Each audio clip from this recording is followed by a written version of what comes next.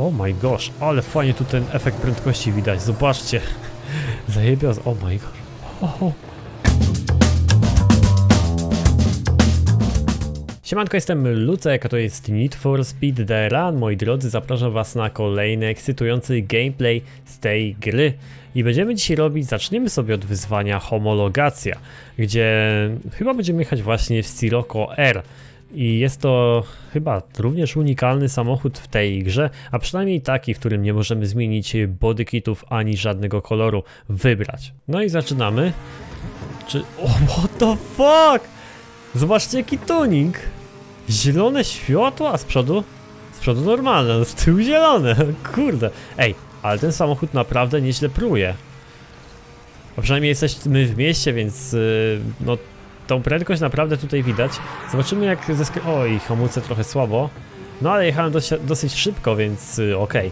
Ale zdecydowanie zaskoczyły mnie yy, te światła z tyłu. No kurde, to jest coś fajnego, naprawdę. Ale wow, przyspiesza też kozacko. To jest Sirocco R. Ja nie jestem pewny i nie chcę tutaj skłamać, damn it. Ale to jest chyba samochód, który... Wersja Sirocco, która posiada napęd na tylną oś, bo przeważnie w Sirocco mamy napęd na przednią. E, Ale pewności tutaj nie mam. Więc nie chcę też mówić... e, Mówić, że mówić, że, że tak na 100% jest. Po prostu tak sobie strzelam. Gdzieś chyba słyszałem, ale mogło mi się pomylić. Zobaczcie tego Nissana. Ten Nissan 370Z również posiada zielone światła. Ciekawe dlaczego taki jest. Może to jakaś promocja Nvidia, kurde, nie wiem. Okej, ładujemy się tu. O, powiem wam, że dość taki dynamiczny wyścig. Ci z przodu naprawdę nie odpuszczają i te zakręty pokonują równie dobrze co cheaterzy w Wordzie.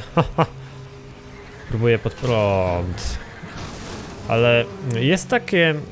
Jest taki trik, można to tak nazwać. W dek, dekru. Deranie, że jak się puszcza gaz, samochód automatycznie skręca dużo lepiej. I to dużo lepiej.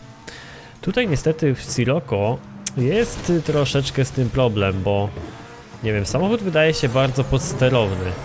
A przynajmniej na zakrętach trik z puszczaniem gazu po prostu nie działa.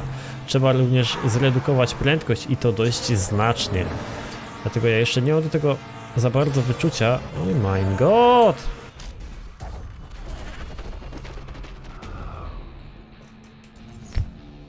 Wow, słuchajcie, to nie są przelewki. Przegrałem pierwszy raz wyścig w Need for Speed The Run na serii prób.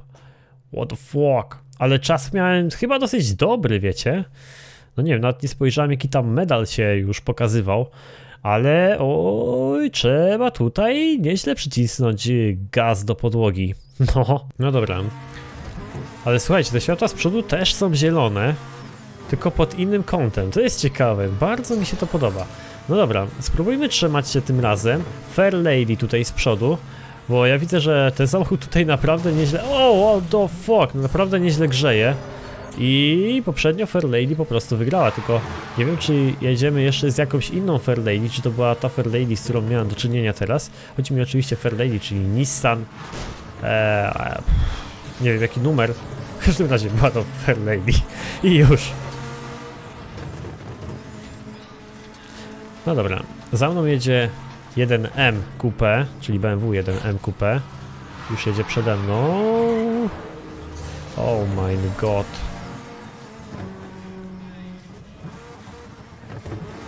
No jest, jest ciężko, te samochody, te, te, ci moi przeciwnicy komputerowi naprawdę nieźle grzeją i ku mojemu zdziwieniu nie zatrzymują się przed metą, jak to w deranie bywa. I to praktycznie na każdym wyzwaniu, czy też wyścigu w e, po prostu karierze, tak? Ale tutaj widzę, że tak nie ma i trzeba się troszeczkę postarać, nie wiem, robić rajdy, inne tylniki, whatever. W każdym razie naszym celem jest wygrać.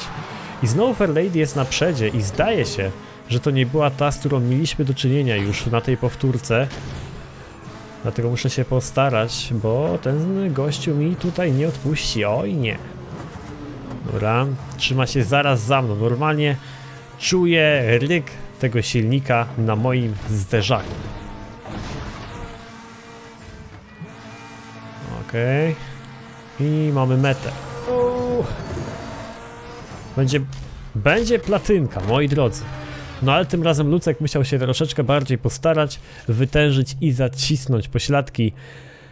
Ale się udało, platynka w kieszeni. Jedna z nielicznych tak naprawdę w tej serii prób. No ale co tam. Także tak jak mówiłem, jest to jedyna platyna yy, w tej serii wyzwań, a były one dosyć ciężkie. Wyścig przemysłowy. No zobaczmy co tu będzie. Tutaj chyba można było skakać w którymś momencie przez szybę. Tak mi się coś przypomniało, znaczy przypomina.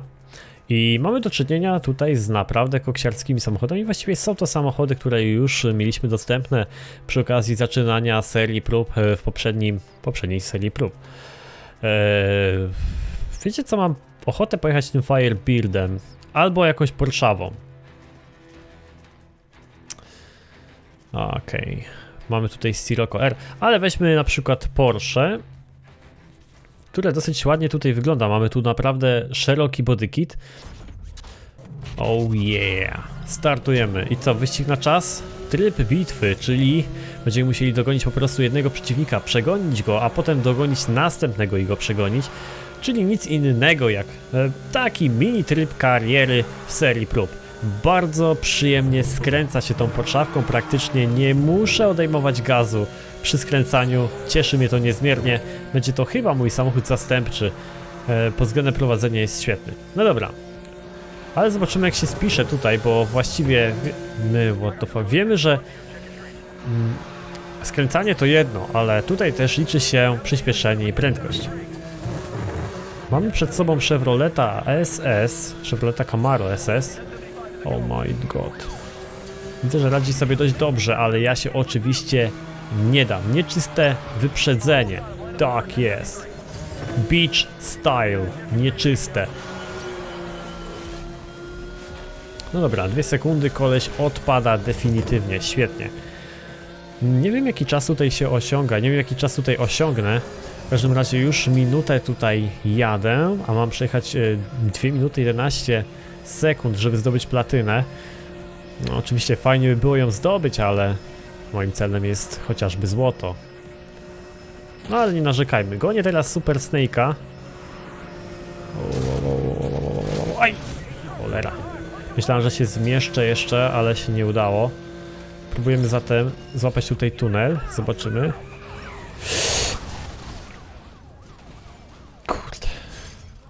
Nie wiem co się stało, ale ta prędkość. Jesteśmy tak na marginesie w Chicago, bo widziałem przez chwilę, że było napisane na tylnej klapie samochodu policyjnego City of Chicago.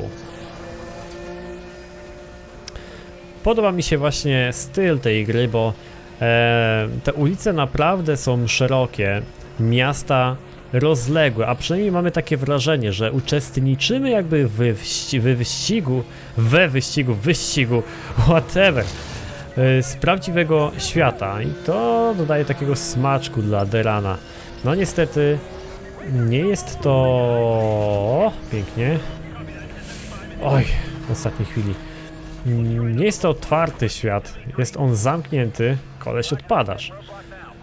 I... No i tyle.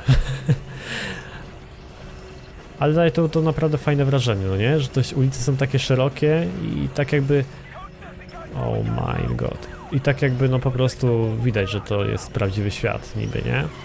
Oczywiście nie jest, ale nie jest on nawet otwarty. Ale chodzi tu o doświadczenie z gry. No dobra, platyny nie zdobędę, ale zdobędę sobie złotko i to też. O mały włosek, no. Niecałą sekundę bym stracił i by była lipa. To jest sekunda, to jest właściwie nie wiem, jedno szurnięcie o ścianę albo dotknięcie chociażby radiowozu, tak? Już nie mówię tutaj o takiej totalnej kraksie. Teraz kolejne wyzwanie, które nazywa się obwodnica i widzę, że też będziemy mogli wybrać sobie praktycznie test... O nie! Pojechałbym właśnie Golfem GTI. Kurde, ale niestety jest niedostępny. Bardzo fajnie jechało mi się Meganką, a w tym odcinku Meganką jeszcze nie jeździł Lucek. To jest oczywiście jakaś specjalna wersja tej Meganki, zobaczmy. Okej. Okay. No i co musimy zrobić? Zajmij pierwsze miejsce, czyli po prostu nic innego jak wyścig. A to lubimy, to ludzki lubią najbardziej. Sprint, szybka akcja, the run. Tak jest. Dobra, próbujemy, próbujemy. Mamy tutaj dziesiątkę, Mitsubishi Evo dziesiątkę. GTR nawet się pojawił, nawet jest Mazda, nie, jest y, Nissan y, R32 Skyline oczywiście. No i wyprzedziliśmy Subaru Impreza WRX STI.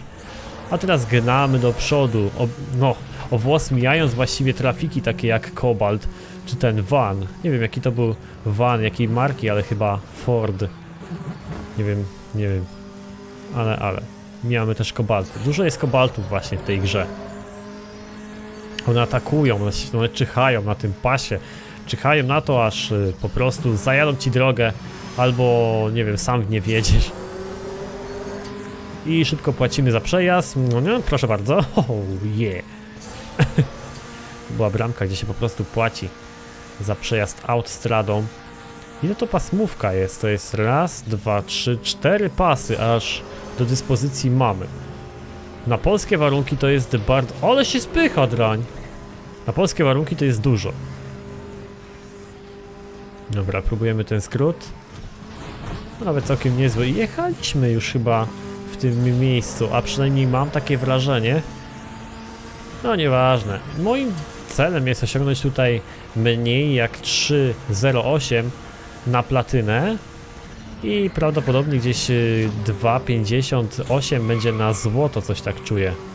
Mogłem pojechać tym skrótem tutaj, by się podjechało trochę pod górę, no ale teraz i tak nie ma tak dużego ruchu ulicznego, żeby ryzykować jazdę po węższej trasie z taką prędkością, więc nie ma co po prostu się bawić. Meganką mi się równie dobrze jedzie co tą Porszawką, którą mieliśmy przed chwilą. Co mnie niezmiernie cieszy. O, o, o, o, o wywaliło troszeczkę. O właśnie, oglądałem e, tam e, taki, taką kompilację jakby kraks, upadków i innych rozwałek e, związanych z Nissanem GTR-em R35 i była tam taka opcja, gdzie właśnie GTR wyprzedzał jakiś e, samochód ruchu ulicznego oczywiście i wyleciał, jakoś tak go wybiło do góry i wylądował, ale odbiło mu dupę od y, asfaltu, wiecie? W sensie amortyzatory tak mu odbiły. Nie wiem, jakie on tam miał, czy aż takie twarde, że go odbiło. I po prostu poleciał w krzaki. Nie miał autom automatycznie y, trakcji, nie miał przyczepności, nie miał totalnie nic. Leciał, po prostu ten samochód leciał z prędkością, nie wiem, około 200 km na godzinę. No dobra, Kurde, co ja gadam, nie, złoto nie poniżej, oh my gosh, 5 sekund. Jest! Udało się, ale co najgorsze, e, przeciwnik był zaraz za mną, a to nie jest dobry znak. Złoto osiągnięte, super. Kolejne zawody, czyli wyścig przemysłowy. I zobaczmy jakie wozy mamy tutaj do dyspozycji. No już jest Aston Martin Vantage, jest Camino, jest ten właściwy zestaw, który mieliśmy na początku, ale jest też RTR-X, którego bardzo chcę przetestować. Jest to samochód zbudowany przez ekipę Need for Speed do driftu specjalnie. I jest to jeden chyba z pierwszych tego typu muscle carów zbudowany do tego. Nie chcę tutaj skłamać, ale no, innych muscle carów nie widziałem wcześniej, tak, że tak powiem, same po prostu te samochody japońskie typu 200 SX, Silvia albo jakaś, nie wiem, Mazda RX-7. Ale RTR-X zrobił furorę do tych, e, na tych właśnie zawodach driftowych. Później pojawił się driftujący e, Mustang, ale nie wiem, który to był. Mustang chyba GT, przerobiony na drift z chyba, nawet nie wiem którego roku, ale to był też z tych starszych Mustangów. I oczywiście Ken Block y, w zajebistym filmie wymiatał tym właśnie autem. A propos tych filmów Ken Blocka, ja się tak y, interesuję troszeczkę kinematografią, y, sprawami związanymi z tym, jak film zostaje stworzony, jak on jest stworzony. I tak wiele osób myśli, e, jak e, takie driftowanie jest zrobione, jak on driftuje. I pewnie wielu z Was również zwróciło uwagę, albo i może niewielu, zwróciło uwagę na fakt, że w miejscu, gdzie on driftuje, jest już wcześniej zrobione masę śladów po gumie. I to są oczywiście te wszystkie ślady, to są ilości podejść, w których on po prostu wykonał ten drift. I dopiero za którymś tam podejściem, nie wiadomo którym, udaje mu się to zrobić perfekcyjnie, tak? I to jest pokazywane na YouTubie. Taka kompilacja perfekcyjnie zrobionych driftów pokazana jest później e, w całym tym filmie. I pewnie ktoś może pomyśleć, o ale to głupie, no przecież to wiadomo, nie, nie ma w tym Ken bloku nic wyjątkowego, on po prostu sobie troszeczkę pojeździ, coś mu nie wyjdzie i zawsze mogą to jakoś wyciąć albo powtórzyć, prawda?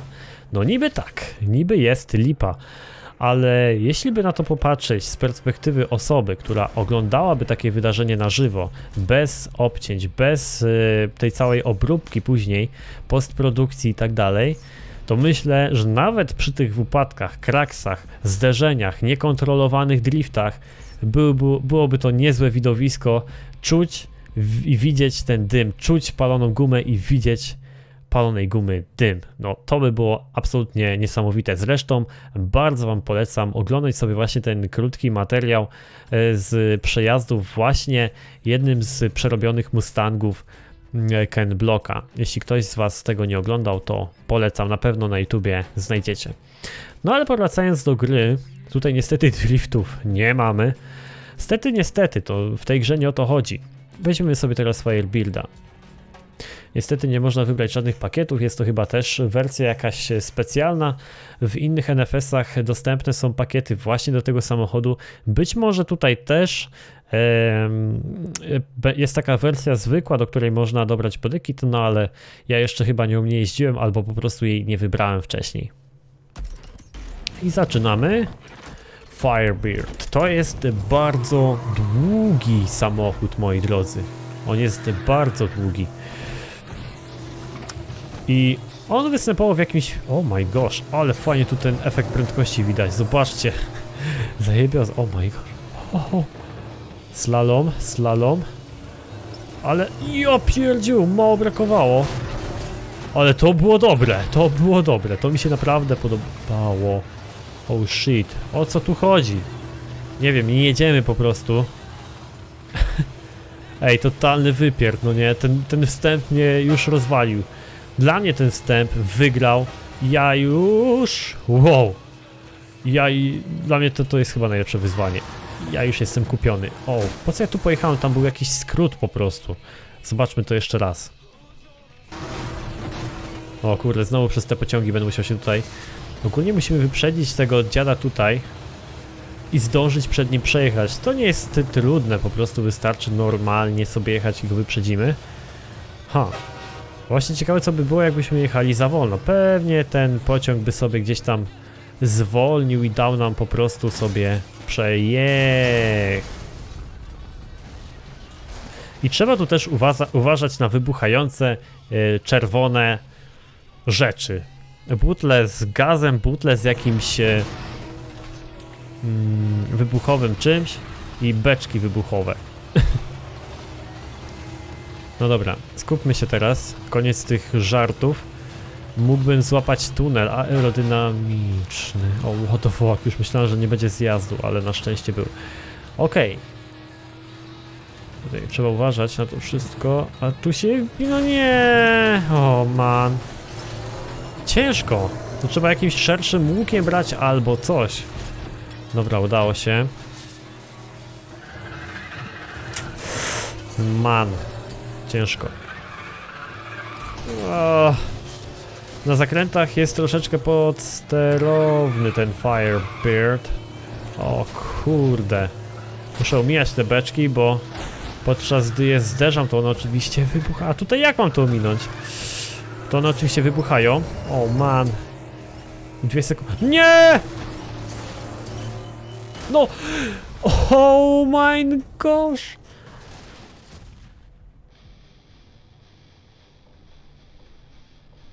Ja dziękuję. Jak ja mam to niby przejść? Te zakręty chyba mnie tutaj troszeczkę zaprzepaściły. O. Tutaj się sporo prędkości widzę, że traci, ale bardzo mi się to teraz podobało, jak mi zarzuciło dosłownie tyłek. No nic moi drodzy, niestety grę mi skraszowało przy tym takim konkretnym zderzeniu, więc dochodzimy sobie to wyzwanie już w następnym odcinku i chyba innym samochodem, bo Firebuildem jest bardzo ciężko. Poza tym często zdarza się tak, że e, pad zaczy, no, pozostaje przy tej wibracji, gdy gra się sama z siebie skraszuje. Przez to i on jest na maksymalnych wibracjach teraz. Nie wiem, czy to.